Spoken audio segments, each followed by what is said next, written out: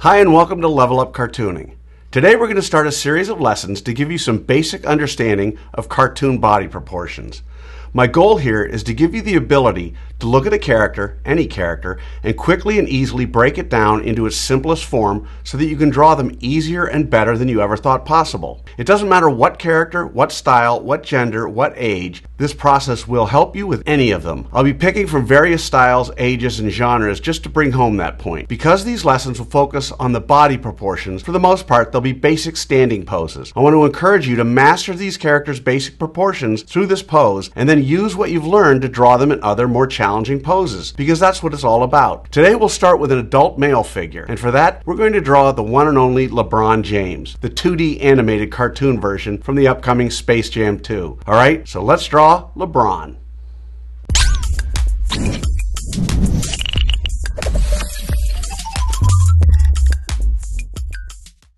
We're going to draw King James step by step, giving you the secret formula to be able to draw him again and again. And not just in this pose, but others. If you've watched any of my other videos, you know I normally use the character's head to figure out how big the entire character is. Cartoon LeBron is just under six heads tall. In other words, however tall LeBron's head is, his entire body is just under six of those. We can also use that noggin to figure out how wide LeBron is as well. He is three heads wide. In other words, however wide his head is, his entire body is three of those. I just want to remind you, we're talking about cartoon LeBron. In real life, LeBron is probably more like 8 to 8.5 heads tall. This shows you how the cartoon form exaggerates and distorts the body, which is why I love to draw cartoons. Anyways, so let's start with that roadmap for LeBron James from Space Jam.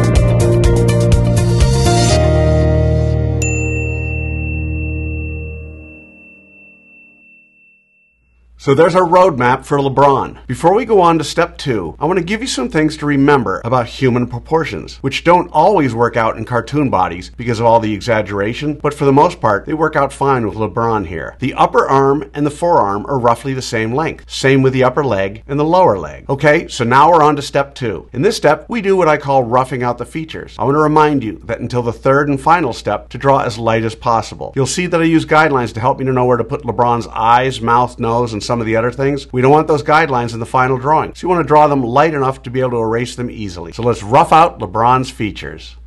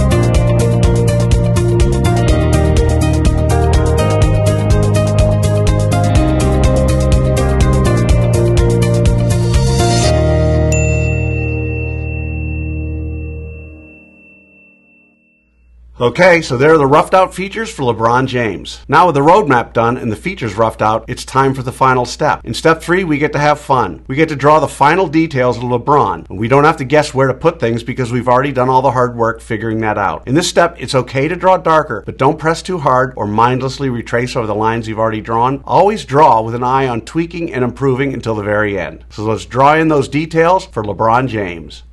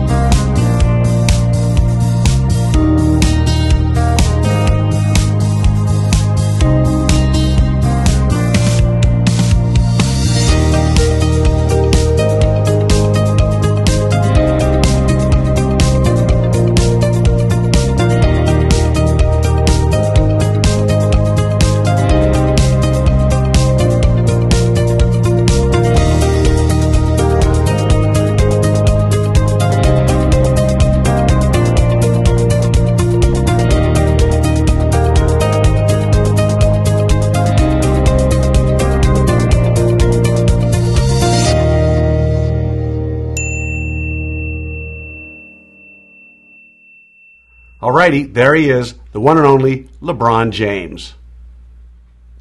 So, how do you think you did? Understand, if you've never drawn LeBron James before, you cannot expect to have drawn him perfectly. You notice I don't spend time coloring him during this video because I want my lesson to focus solely on the drawing process. Now you have the secret formula, the process for drawing King James. And with that, you can draw him again and again. And now that you understand his proportions, you can try drawing him in other poses as well. And by all means, color him when you're done. I promise each time you draw him, it'll be a little better and a little easier. I also promise the more you work with me, the better you're going to get at all of your cartoon characters. For those of you who want to go a little deeper, click on the link below for my free four part drawing series, where I spend more time explaining the details and thinking behind each step in what I call the level up cartooning process. So I'd love to see your drawing of LeBron. If you can, take a picture and post it on either Facebook or Instagram. And don't forget to include the hashtag levelupcartooning. I hope you had as much fun as I did with this one. Remember to subscribe and thanks for joining me. Until next time, keep drawing, my friends.